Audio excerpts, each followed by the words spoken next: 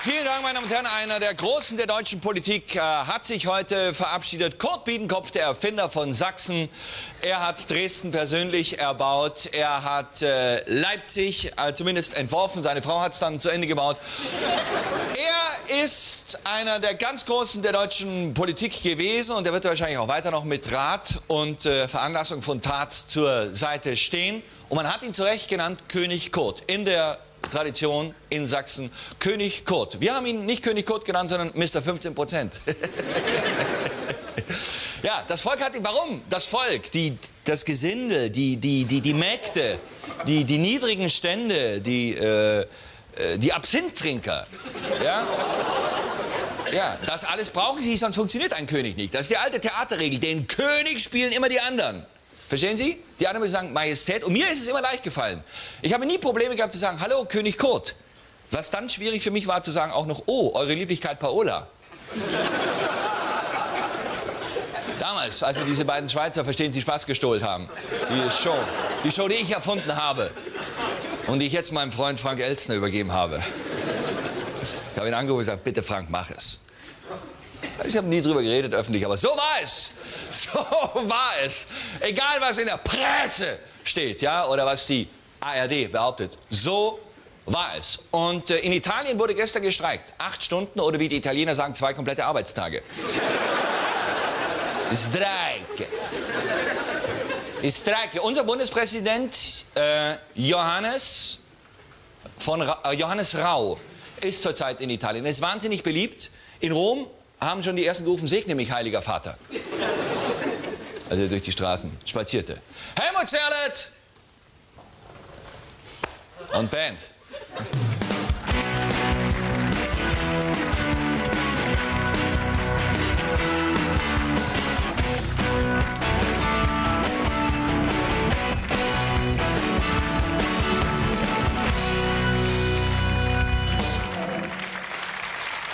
Und Herren, mein Gast heute Abend, und ich sage es Ihnen mindestens zweimal pro Woche, die erfolgreichste Frau im deutschen Fernsehen. Eine Sensation von 0 auf 100.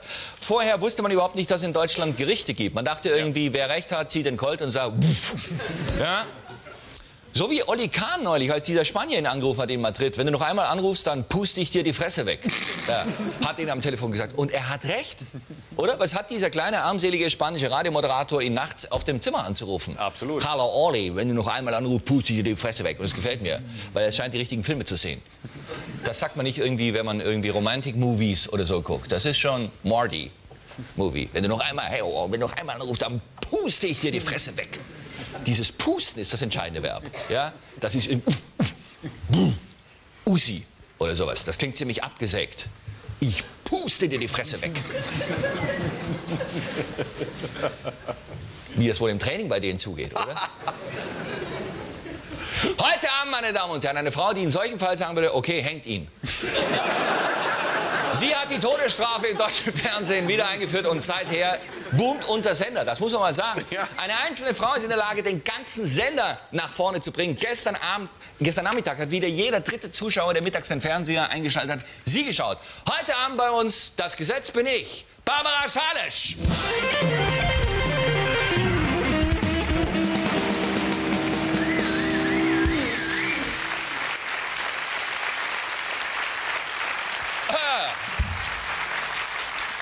Noch immer werden in diesem Staat Wahlen abgehalten. Immer mehr Menschen fragen sich, wozu? Warum sagt man nicht einfach, übernehmen Sie bitte, Herr Biedenkopf? Was sollen wir tun? Was halten Sie für richtig? Oder? Stattdessen teure Wahlen, Plakate, Reden, in denen wir belogen werden. Ich habe das Gefühl, die Politiker be belügen uns. Ehrlich? Ja. Ich glaube, dass die Politiker uns belügen. Wie gefällt Ihnen diese schonungslose Wahrheit? Ich habe langsam das Gefühl, die erzählen uns das Blaue vom Himmel runter, nur um gewählt zu werden. Und wenn sie dann mal gewählt sind, dann erinnern sie sich an nichts mehr. Habe ich recht? Naja gut, okay. So, wahlberechtigt. Welche Partei würde unser Studiopublikum wählen, wenn morgen Bundestagswahl wäre? Wahlberechtigt heute 242, gültige Stimmen 224, Wahlbeteiligung 92,6 Prozent. CDU, CSU 57 äh, Stimmen, das heißt 25,4 Prozent. äh, äh. Los Corruptos 31,7 Prozent.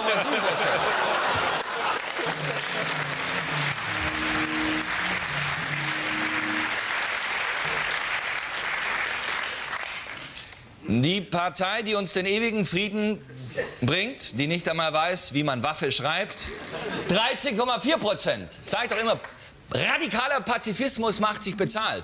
Oder? 13,4 Prozent sagen sie, jawohl. Jawohl dafür, dass unsere Soldaten hier in Deutschland Auto waschen, anstatt sich irgendwo im Ausland aufzuhalten. FDP, es geht bergab 19,6 Prozent. Woran liegt es? Naja, Woran liegt auf es? hohem Niveau. Ja, aber trotzdem, die waren mal bei 25. Ich finde, Westerwelle sollte sich einen Schnäuzer wachsen lassen. Das könnte ihn wieder nach oben bringen. Ja? Und, was ist? Und auch so eine Ledermütze oder was?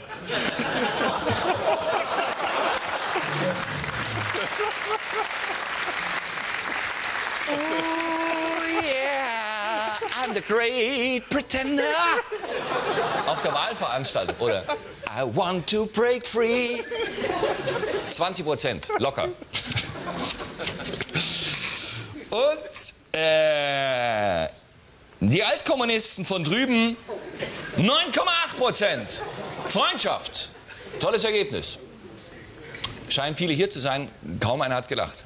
Habe ich, hab ich die PDS schon mal diskriminiert? Nein. Wir haben ja einmal entschuldigt. Einmal.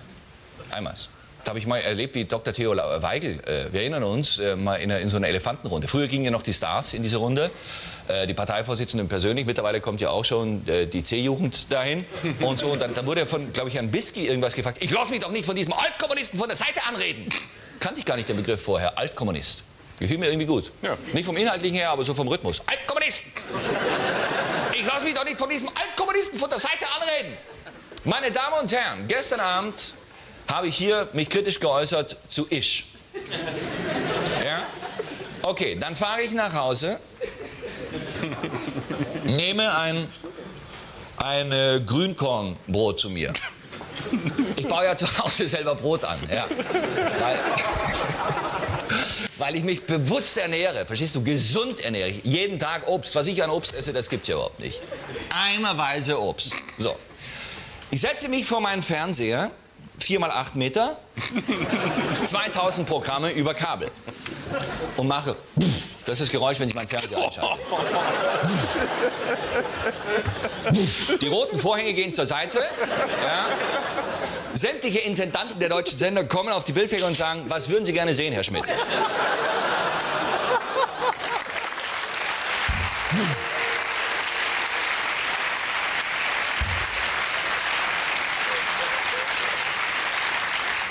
Ich sage, wenn er mich das noch einmal fragt, puste ich euch die Fresse weg. Und dann schalte ich auf Sat 1, um das Movie zu sehen äh, nach dem Ende der Hochzeitsnacht. Oder das Ende der Hochzeitsnacht oder wenn der Schleier weg ist oder so ähnlich. Auf jeden Fall mit Das ist mit Caroline Eichhorn Kai und Wiesinger. mit Kai Wiesinger. Ja. Ich sitze da, sehr spannend. Plötzlich denke ich mir, ist das ein Werbespot, den ich noch nicht gesehen habe? Es macht und Grissel, Grissel und das Bild ist weg. Ich sage mir, Moment, kann es sein, dass Isch sich gerecht hat? Da fiel mir ein, die, meine Sendung ist ja noch gar nicht ausgestrahlt. Verstehen Sie? 18 Uhr aufgezeichnet, 20.15 Uhr gucke ich den Thriller an und um 23.15 Uhr kann Isch erst wissen, dass es mit Ihnen zu Ende geht, wenn Sie meine Show sehen. Sie können mir also nicht den Stecker rausgezogen haben oder einen Mitarbeiter mit langen Zähnen darum gebeten, dass er mir im Garten das Kabel annagt. Und ich schwöre es, dreimal ist mir gestern während dieses Krimis das Programm abgestürzt. Nicht nur dir. Nicht nur mir. Und ich stelle fest, eine solche Aggression auf Isch mittlerweile in der Bevölkerung, dass man sich fast schon wieder schützen muss. Hier ein, eine Mail von Annika aus Köln-Mülheim, die jetzt in Stuttgart äh, studiert. Ebenfalls Ärger mit Isch. Und sie hofft, dass Isch nie in Baden-Württemberg Fuß fasst. Pech gehabt, das sind sie schon. Denn wir haben geforscht. Hat jemand von Ihnen auch schon Ärger mit Isch gehabt hier im Studio? Nein, ein Volk in Angst. Wie können wir eine Revolution in diesem Land auf die Beine stellen, wenn man sich nie mal traut, den Kabelanbieter anzugreifen? Das ist immer so. Das war immer so. Also Nils hatte Probleme, Niki hatte Probleme. Auch mit Isch? Ja, natürlich. Ja. Hey, ich glaube, du sagst, Niki hatte Probleme oder was? Ja. Ja. Ich trage mal ins Klassenbuch ein. Ich hat versagt, oder? Nein, nur bei mir. Von 240 Zuschauern hat keiner Probleme mit Isch. Das ist die neue Woche, haben wir hier angefangen. Wer ist eigentlich dieses Isch? Wir haben das recherchiert.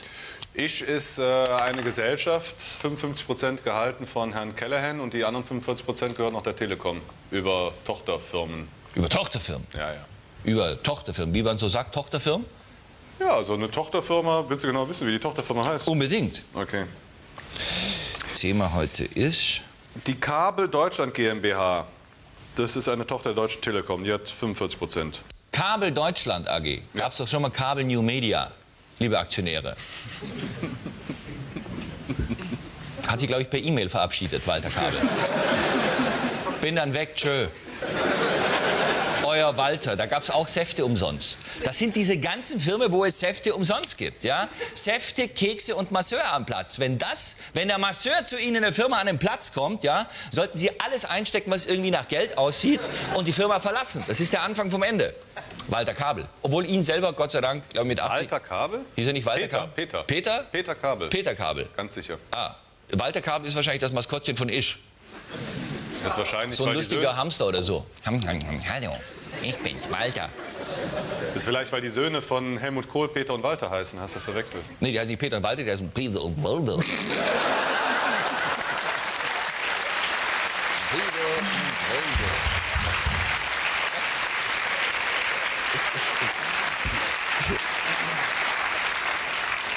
Das ist doch wirklich ein Unterschied, das muss man doch mal sagen. Das haben wir kürzlich mal beim Mittagessen festgestellt. Ja? Die meisten Namen sind scheiße. Das ist jetzt hart für Sie, weil Sie heißen auch irgendwie, ich weiß das. Ja? Aber auch wir heißen irgendwie, weil immer mehr Mitarbeiter bei uns werden Eltern in der Firma. Ja. Ja. Frauen kriegen Kinder, Männer werden Väter und so weiter. Und sagt, wie heißt dein Kind? Und sagt das Kind, das ist okay. Kaum geht er raus, sich Dessert holen, ist auch scheiße. Ja? Gut, irgendwie muss man das Kind ja nennen, Klar. oder? Aber im Grunde ist alles irgendwo. Man sollte die Kinder durchnummerieren. 17, komm mal gerade her. Mit diesem Namen. Und es ist doch ein Unterschied, ob ein Sohn Walter heißt oder Walder. Das ist ja auch Region. Zum Beispiel, zum Beispiel der Name äh, Oliver. In Italien sensationell. Oliver. Ja? In Süddeutschland Olivo. Olivo, zieh mal dein Anorak an. Ja, oder Patricia. Patricia. Ja, oder hier. Ich, ich schwöre das, ich habe früher von einer Kollegin im Kabarett den Satz gehört, die hat in Bonn gejobbt in der Uniklinik. Da hat die auf dem Flur der Uniklinik Bonn den Satz gehört, Herr Doktor, Ming Soraya kann nicht Trisse. da bist du doch als Kind erledigt. Ja? So, das zum Thema, es ist nicht einfach, einen Namen zu finden. Wir geben aber demnächst mal eine Liste bekannt mit Namen, die überhaupt nicht gehen. Ja, die einfach wirklich gar nicht gehen, auch mit Straßen, wo man nicht wohnen darf. Oh ja. Oh ja. Ja. Also Straßen, die irgendwie so ganz schlimm irgendwie so. äh, Goldkehlchenweg. Walter von der Vogelweide Weg und so, wo man irgendwie so, oder auch so, äh, so, so, so, so, so Lyriker, die irgendwie auch überhaupt keiner kennt. Zu Recht natürlich. Zu Recht, weil sie nie das Volk erreicht haben. Wer nicht 10 Millionen Leute erreicht mit dem, was er macht, sollte überhaupt zu Hause bleiben.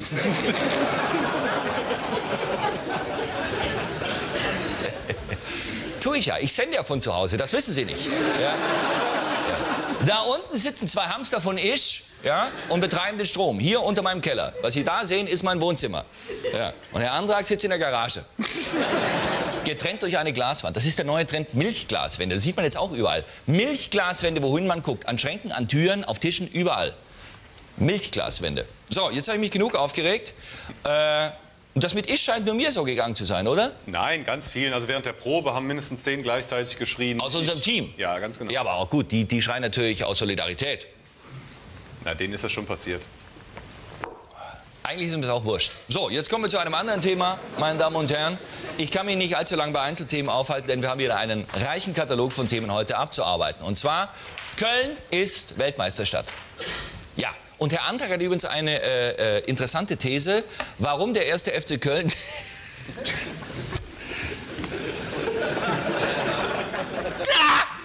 den Klassenerhalt noch schafft. Nein.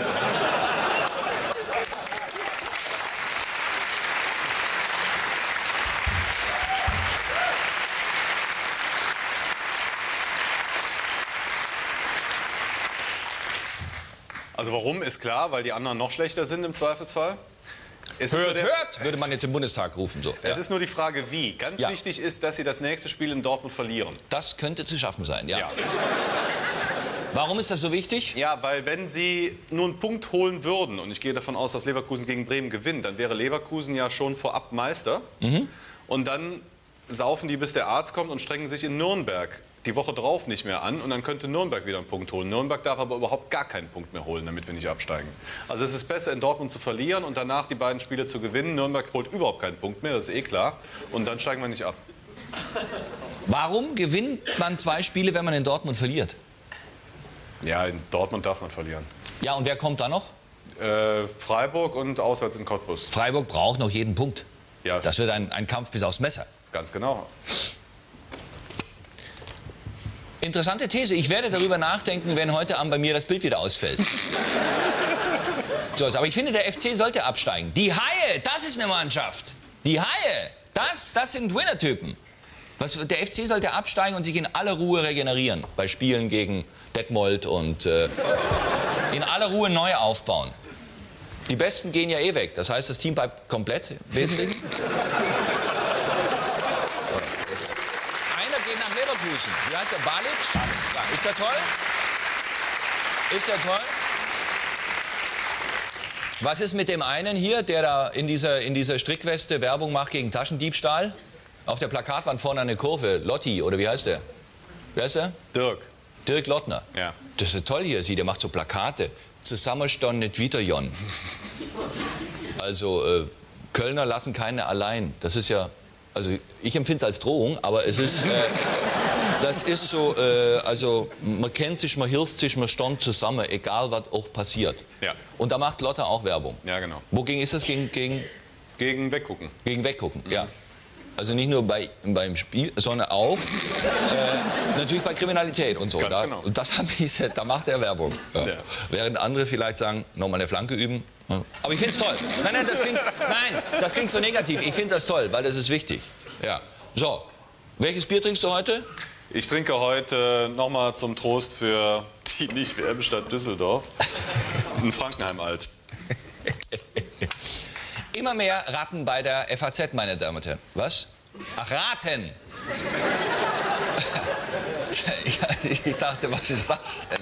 Ich lese hier FAZ und Ratten. Nein, Raten. Raten. Das große Ratespiel.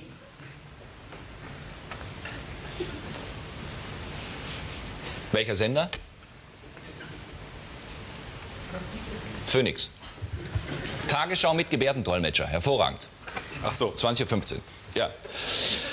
Äh, das große Thema, das auch heute noch durch die Presse geht, ähm, die große Trauer, die Wut, die Enttäuschung, die Verzweiflung, warum einige Städte nicht zu WM-Städten äh, ausgewählt wurden von Franz Beckenbauer per demokratischen äh, Computerbeschluss. Und äh, wir haben festgestellt, unsere Oberbürgermeister sind eigentlich fantastisch. Die können was, die haben es auch nicht einfach. Die Kommunen werden immer äh, ärmer. Aber sie haben eine tolle Figur abgegeben, als sie hochgekommen sind. Und viele kennt man gar nicht. Und deswegen heute unser neues Spiel. OB hier, OB da, sag wie heißt der? La la la, rat den OB. Rate den OB. Ja, ein tolles neues Spiel. Das, und das muss man ehrlich sagen, ich freue mich, als erstes es bekannt geben zu dürfen, in Serie gehen wird, wenn es heute ankommt. Ja? Rate den OB. Der erste Kandidat ist Helmut. Wir zeigen Helmut verschiedene Oberbürgermeister und Helmut äh, sagt uns bitte, wer es ist und vielleicht noch im Idealfall äh, von welcher Stadt. Okay. Okay? Okay. OB, ab bitte. Wir sind äh, wirklich äh, nicht nur frohen Mutes, sondern wir haben eine gute Mannschaft, einen guten Präsidenten, einen guten Trainer. Und ich glaube, manch eine Bundesliga-Stadt äh, wird äh, sich noch wundern. Oh. Wer ist das? Du kannst ja auch immer ein bisschen vom Dialekt oder von der Gesamtausstrahlung. Ja. Das ist so eine, glaube ich, so eine Le Corbusier-Brille. Ja. Sehr viele Architekten haben die. Wer solche Brillen hat, trägt häufig auch Breitkorthosen. um auf Baustellen irgendwie zu sagen. Und, und da kommt dann das Milchglasfenster rein. Aber es ist kein Architekt, sondern Aber den Dialekt habe ich kaum rausgehört. ja, und das sollte genau das ist es. Wo spricht man angeblich das beste Hochdeutsch? Ja, so ähm, Hannover. Ja! Fantastisch! Dr. H.C. Herbert Schmalstieg. Herr Dr. Schmalstieg, der nächste Bürgermeister bitte. Ich möchte ganz herzlich Dank sagen dem Egidius Braun. Ohne ihn stünde ich jetzt nicht hier oben. Und herzlichen Dank auch an die Bundesregierung, Otto Schily, für die große Unterstützung. Ähm, der, der sächselt ein bisschen. Ne? Und ich glaube, die einzige Stadt, die im äh, äh, Osten überhaupt mitmacht, ist Leipzig. Ne? Fantastisch. Dr.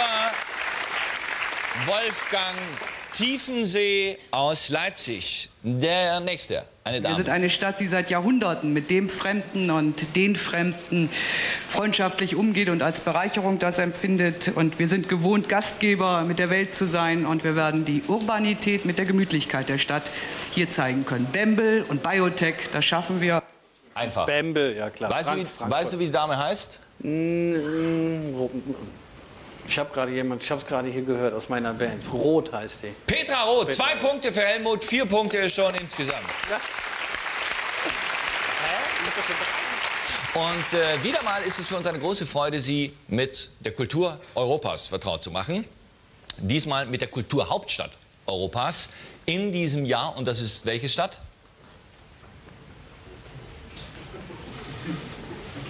Brügge.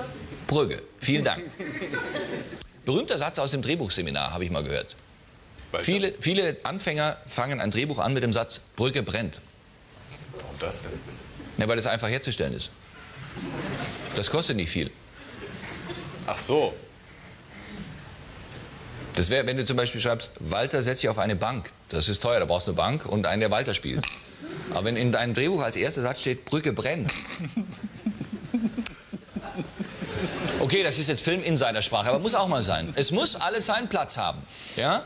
So, wir stellen Ihnen Brücke vor und eine große Van Eyck-Ausstellung in Brügge. Genau. Und Sie wissen, das macht traditionell eine charmante Kollegin. Und jetzt kommt die große Überraschung. Sie weiß nicht, dass wir sie überraschen, meine Damen und Herren, denn sie hat heute Geburtstag. Und wir schalten jetzt nach Brücke zu unserem Geburtstagskind. Bitte? Ah, oh, wir haben ja einen musikalischen kleinen Vorspann für Sie.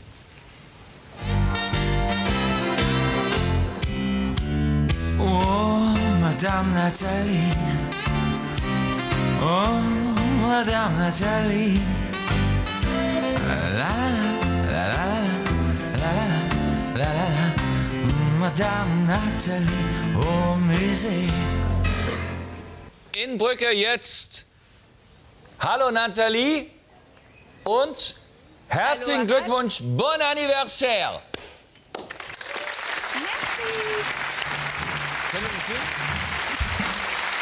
Happy birthday to you.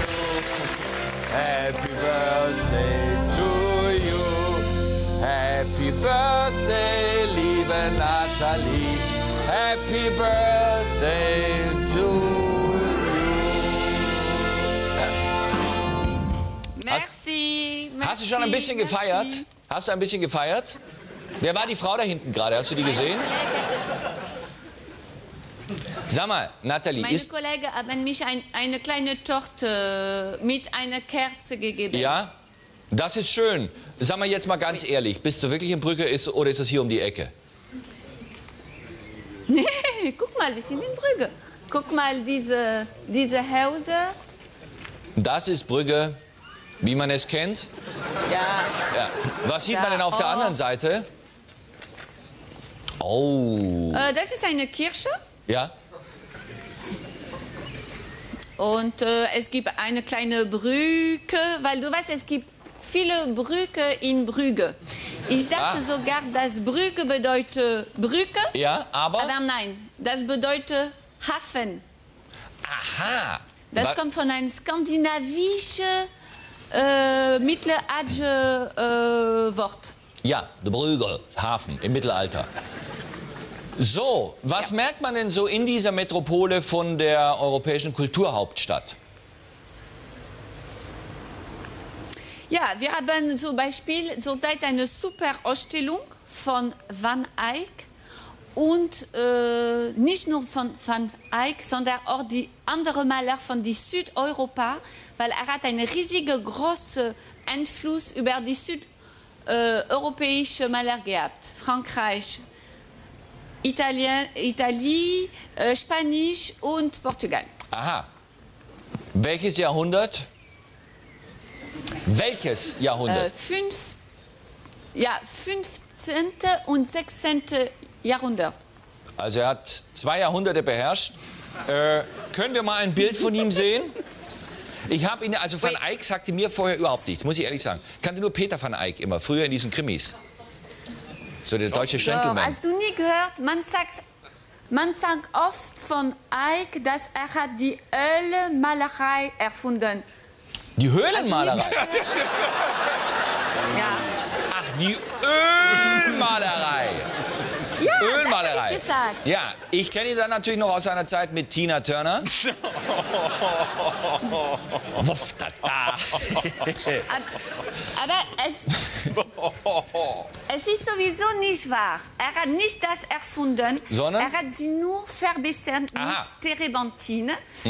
Und weil vorher es gab äh, Eier in die, ähm, in, die, äh, in die Farbe, Ja. aber das war nicht so flüssig.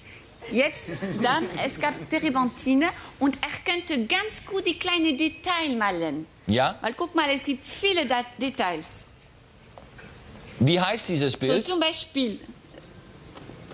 Oh, er heißt Madonna des Juris van der Palle.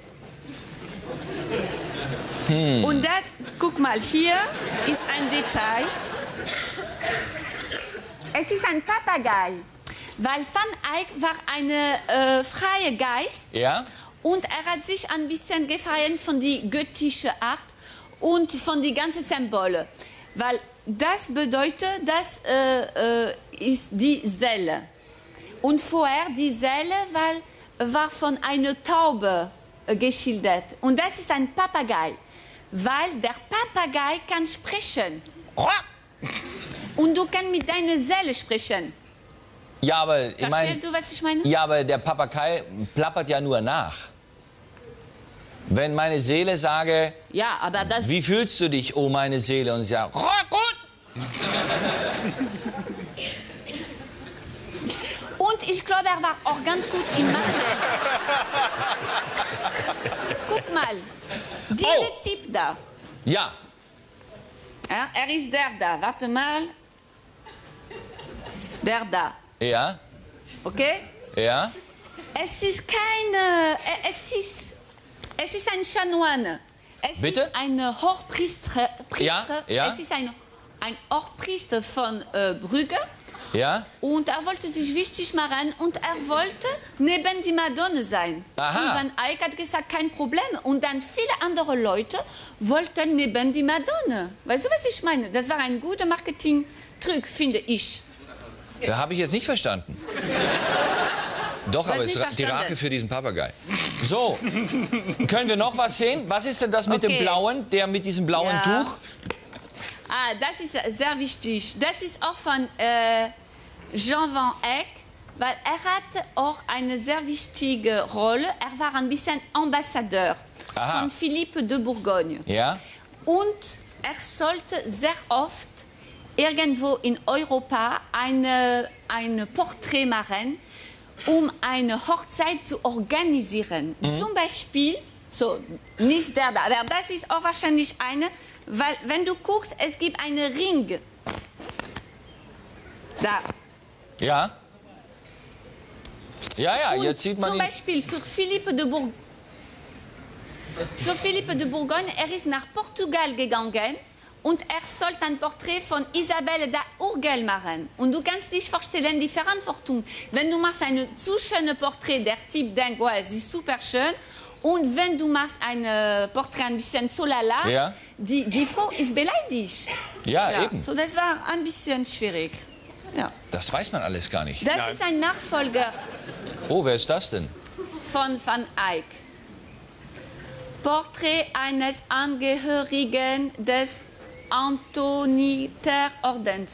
Ah, des Guck Antoniterordens. mal, wo seine Ringe ist. Ich habe das gleich gemacht. Es gibt viele Bilder, wo die, wo die Ringe da sind. Ja? Und da gibt es eine. Es gibt viele Symbole. Das ist ein Symbol von der Order. Ja? Und das, diese Blumen bedeuten auch etwas, aber ich weiß nicht was. Hab ich nicht Ja. Nathalie, das ist sehr, sehr interessant. Bleibt ihr heute Abend noch Das in... ist ein Franzose. Oh, naja, den interessiert uns nicht so. Es ist wesentlich besser, finde ich. Wer ist das? Wer? Äh, äh, man sieht die italienische Influence. Jean Fouquet. Jean Fouquet. Wie heißt denn dieses Bild? Äh, dieses Bild als Madonna mit Kind. Und diese. Ja, so. Das? Und guck mal, eine letzte Bemerkung, sehr wichtig, Harald. Weil diese, ist, äh, weil diese Ausstellung hat auch eine wissenschaftliche äh, Richtung. Ja? Und ich will eine wissenschaftliche Bemerkung machen. Ja. Guck mal, man kann sagen, viele, viele Porträts von Frauen zeigen ein bisschen die gleichen Gesichter. Ja. Und das ist ein Beweis, dass damals diese Probleme mit die Adel waren. Du weißt, sie haben sich alle miteinander heiratet. Ja? Und äh, die Leute waren ein bisschen komisch, weil die, die Blut war nicht frisch genug. Sie war blau, sie war, du weißt? Ja, Und wenn du guckst, diese zwei Frauen, sie sind super ähnlich. Obwohl sie keine Verwandte sind. Ja? Ja, ja. Ganz Findest du nicht ähnlich. interessant? Bitte? Wie bitte? Findest du nicht Hallo? interessant? Ich war doch wahnsinnig interessant. Mir, mir, mir ist nur diese Ähnlichkeit nicht so aufgefallen. Aber du hast recht. Doch! Ja, das sehen, das sehen Sie doch nicht ähnlich. Überhaupt nicht, oder? Doch, na, also in gewisser Weise sehen Sie, es ist eine gewisse Ähnlichkeit da, aber jetzt nicht, dass Sie sich ähnlich sehen. Also schon, schon. Ja, Nathalie, andere Bilder, ich glaube schon. das war sehr interessant. Bleibt ihr heute Abend noch in Brügge oder fahrt ihr schon zurück? Non. Wir fahren nach Köln. Ihr fahrt nach Köln. Das heißt, ihr feiert ein bisschen im Auto. Ja. Ja? Viel Spaß und wir freuen uns, wenn ihr alle morgen wieder wohlbehalten hier seid. Dankeschön und ein, ein toller Eindruck aus Brügge Tschüss. und aus, äh, von der fantastischen Van Eyck Ausstellung. Vielen Dank, Nathalie. Mein heutiger Gast ist der erfolgreichste Frau im deutschen Fernsehen.